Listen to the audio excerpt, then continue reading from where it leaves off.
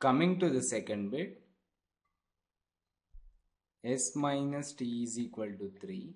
Let this be equation number 1 and s by 3 plus t by 2 is equal to 6 and let this be equation number 2.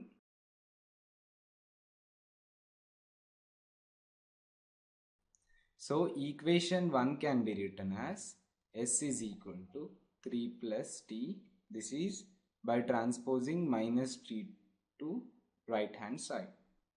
So s is equal to 3 plus t. So substitute s is equal to 3 plus t in equation number 2. We get in place of s we need to substitute 3 plus t.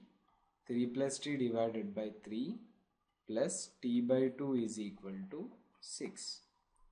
So we know that the LCM of 3 and 2 is 6.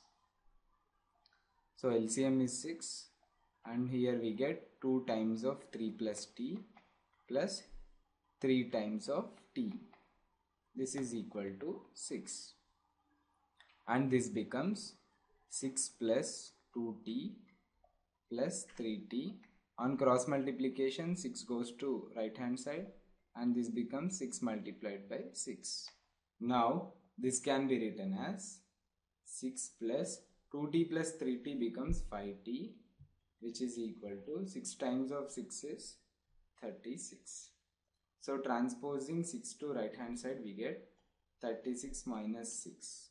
So 5t is equal to 30 that implies t is equal to 30 divided by 5 which is 6. Therefore, we found the value of t as 6. Now, this is equation number 1 and this is equation number 2. Substitute t is equal to 6 in equation number 1.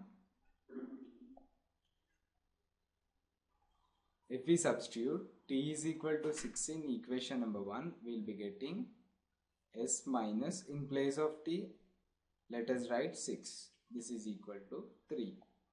Therefore, transposing minus 6 to right hand side, we will be getting 3 plus 6. s is equal to 3 plus 6 is 9. Therefore, we found out the solutions for the given pair of linear equations which are nothing but s is equal to 9 and t is equal to 6.